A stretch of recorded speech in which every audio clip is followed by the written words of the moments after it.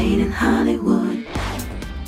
Good neighborhoods and private schools hide the grim reality of the opioid crisis in the suburbs as Katie Kelly and Paola Andino star in the emotional drama Sno Babies. Hi, I'm Katie Kelly. You're watching Made in Hollywood, and this is a scene from Sno Babies. My mom thinks I can get into Princeton. Boring. What are we getting into tonight? Kristen is a 16 year old honor student who's college bound.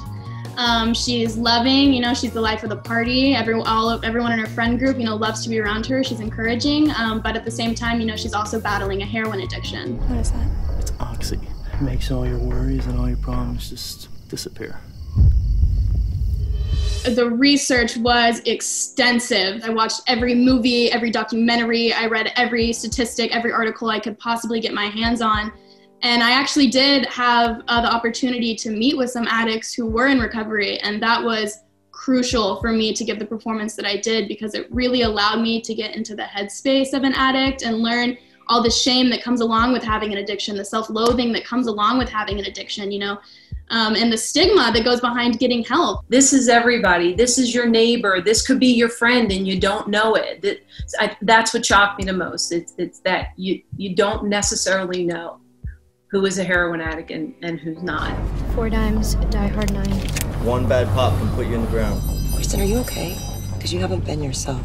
Amen. Hands on the wall. What are you doing? We didn't want to sugarcoat anything. It is a hard film to watch. Absolutely. I completely agree. Even for myself, knowing what was going to happen, but then seeing the final product all put together, it is a hard film to see, but it's so important. I really think that this movie will allow for a lot of conversations that maybe might not have had if they if people wouldn't have seen the movie, but I think that the main conversation that I hope that this film starts is really an open dialogue between parents and their children. I'm addicted. You need to tell your parents it's time.